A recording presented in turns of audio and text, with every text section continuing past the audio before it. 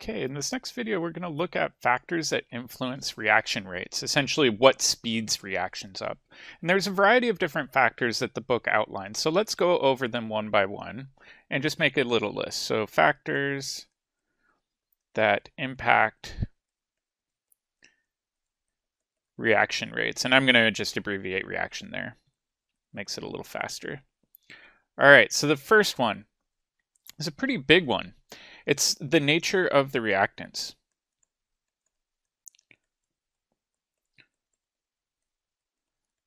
And you might be wondering, well, that's kind of vague. What do they mean, the nature of the reactants? So, for example, ionic reactants versus covalent if you have two ions, let's say an anion and a cation reacting, it's going to react very, very quickly because those opposite charges are going to attract them towards one another, right?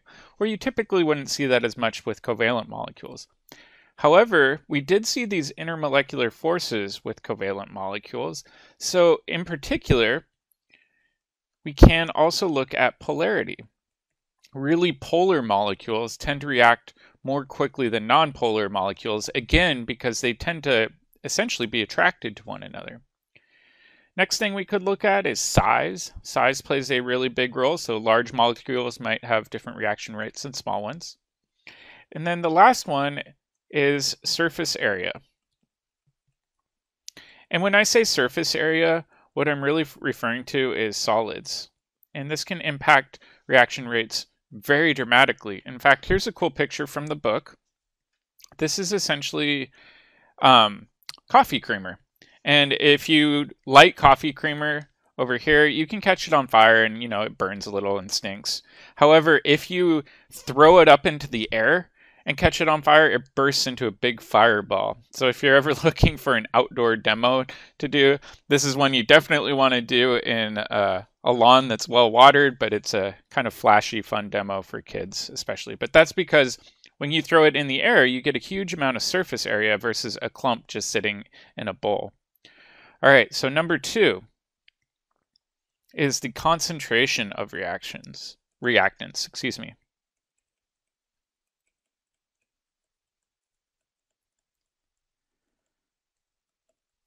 All right, and what does this mean?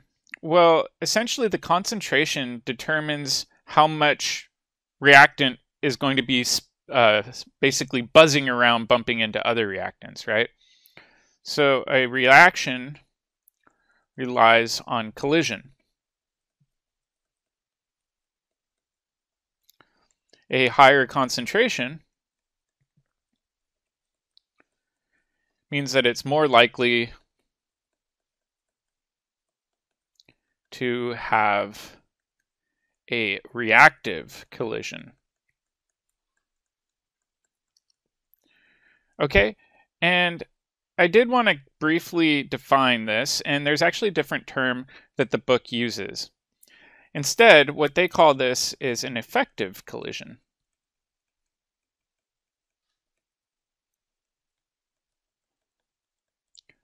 I've always heard of it as a reactive collision, but an effective collision is the same idea. An effective or a reactive collision is a collision that causes a reaction to occur.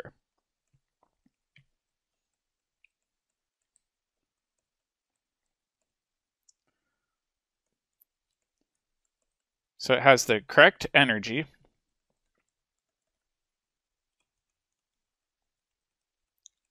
And orientation.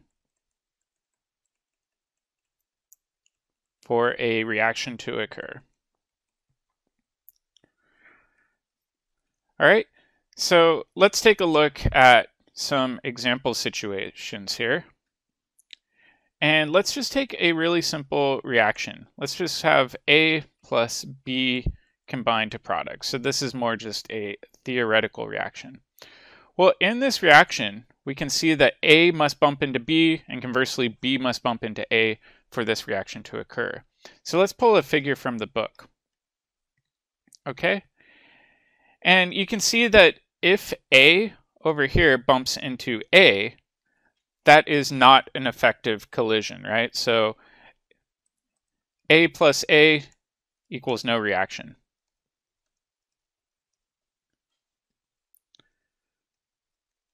All right, we rely on these other collisions to occur. That's A bumping into B. So in this case, we would get some probability of A colliding with B. However, down here, if we increase the amount of B in solution, we're also going to increase that probability. So higher concentrations equals higher probability of an effective collision.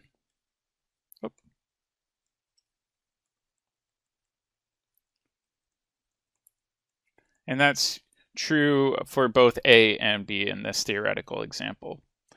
All right, the next one after concentration of reactants is the temperature. And this is a big one.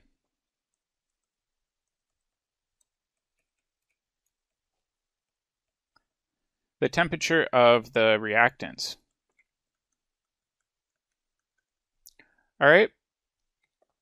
And what this does is it increases the energy for collisions, right? So it increases the probability of effective collisions.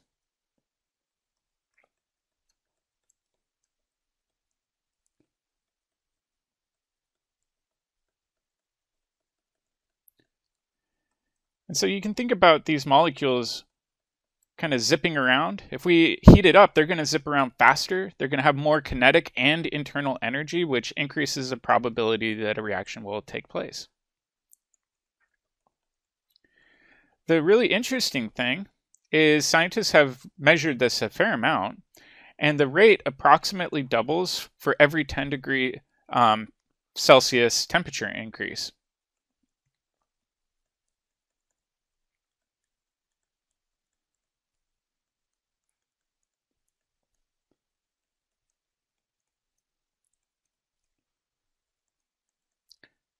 So for example, if you run a reaction at 25 degrees Celsius, it might have one rate, but if you run it at 35 degrees Celsius, the rate will be double what it was at 25 degrees Celsius.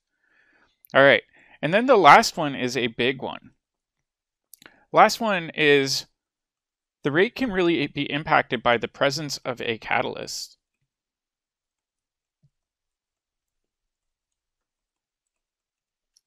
All right, so then the question is, well, what in the heck is a catalyst? Well, a catalyst is something that increases the rate of the reaction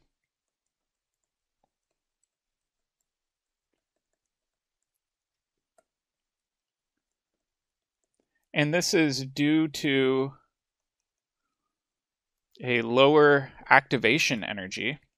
We'll take a look at that in a second.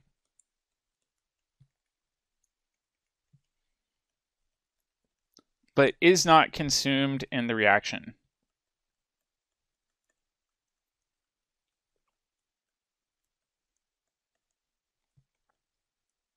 It's essentially a reaction helper, but it's not something that you have to add more of, right? If you put a little bit in, it'll just keep on getting regenerated over and over and over again as the reaction continues to cycle. So let's go back to this activation energy part, right? So we said that the reason it gets faster is due to this lower activation energy. So here's a nice energy diagram from the book. And you can see these two curves. So if we follow this, let me even draw over it. If you follow this line, right, this would be the uncatalyzed state in red. So what we're doing is we're essentially dropping the amount of energy required so that now it takes less energy to get over that little hill.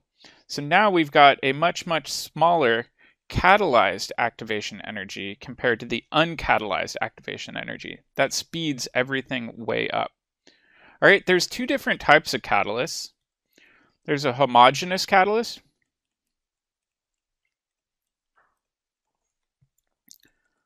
And you can probably tell by the name, a homogeneous catalyst is distributed evenly in solution.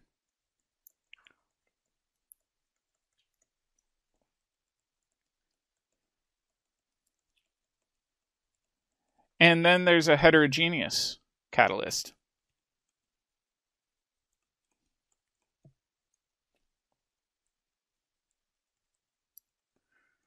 where these tend to be things that don't dissolve or disperse evenly.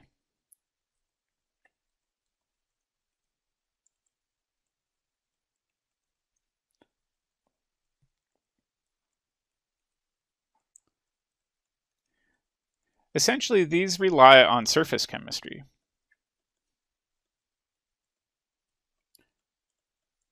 I'm really not going to get into this, but if you think about a catalytic converter in your car, for example, right? The gases are going to go by this solid material. So this would be classified as a heterogeneous catalyst.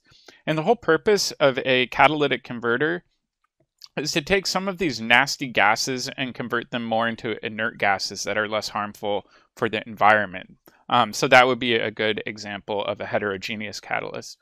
Where a homogeneous catalyst would be something you could sprinkle into solution and it would essentially get dissolved in many cases. So you wouldn't even be able to see it as a solid. Again, this kind of gets back to homogeneous mixtures versus heterogeneous mixtures. All right, there's one last term I did want to bring up, and this is an inhibitor. And an inhibitor is essentially the reverse of a catalyst. It reduces the reaction rates.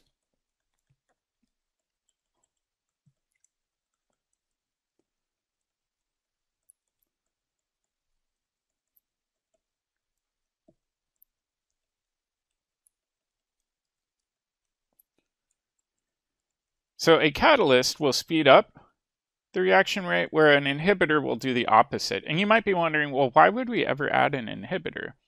Well, in some cases, an inhibitor is added to prevent a competing reaction, right? So maybe you've got, um, let's say, A plus B that could go to either C or, under some conditions, D. You might add an inhibitor to prevent this reaction pathway from taking place and favor the formation of this reaction pathway.